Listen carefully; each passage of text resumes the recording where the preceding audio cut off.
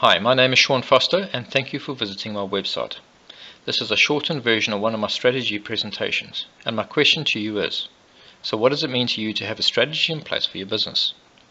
I've taken this graph from some of Verne Harnish's work because it really does a great job of illustrating the life cycle of a business. It is okay to be a small business, after all that is a relative measure.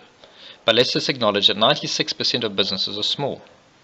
The next sector is the gazelles. These are the businesses that are rapidly growing, again a relative measure.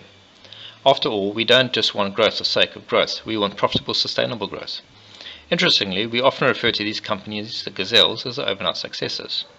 Apple is an example. Established in 1976, 25 years later they released the iPod and that was the beginning of their first overnight success. Starbucks, established in 1971.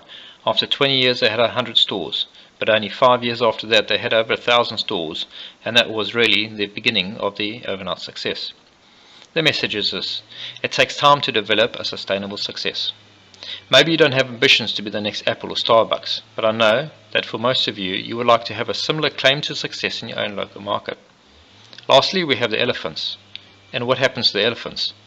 Often they struggle and collapse under their own weight. Examples include ExxonMobil, Freddie Mac, Toys R Us, Pan Am, Borders, GM, Kodak.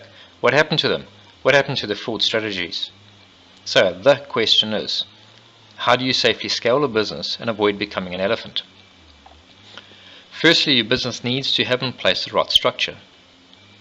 Where are the areas where you make and lose money in your business, and what are the projects you're needing to manage in order to keep your business in balance?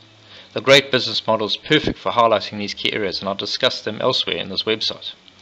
But the glue that truly holds everything together in your great business and ensures that you're on the straight and narrow is all about having a well thought through strategy. The model that I've adapted specifically for the SME sector, that is for companies with a turnover of zero to maybe $20 million, is a SOAP or strategy on a page. If strategy is new to you, I'd like to point out two defining rules that your strategy has to have. Firstly, your strategy only matters if it really matters to your customers. And number two, your strategy has to differentiate you.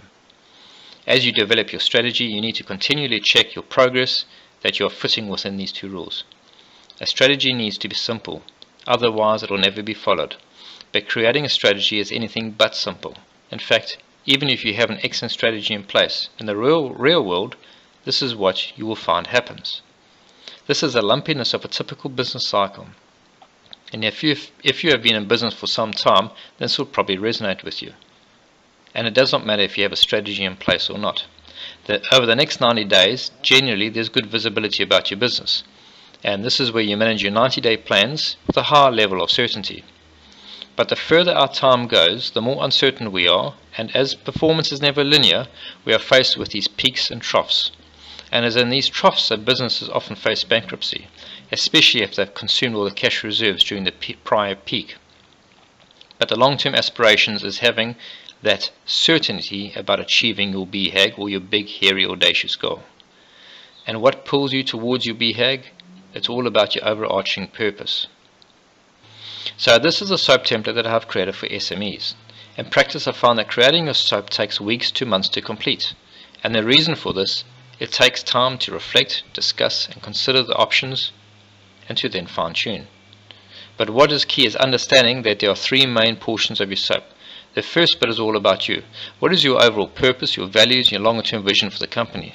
This is crucially important because if you get everybody on board with the bigger picture thinking, then you have the best opportunity of ensuring that everybody is giving 100% of the effort to the business. The middle portion is all about identifying where and how you are going to win in the marketplace.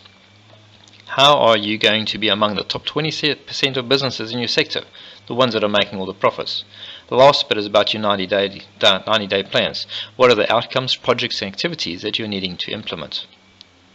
So, what is, what is a possible path forward for you? Have a look at the free resources on this website. They will assist you in creating your own business strategy. Also, consider joining the Big Group, either as a standard or a Big Plus member. Thirdly, contact me to discuss how we could work together in creating your own strategy. This could be either face to face or remotely.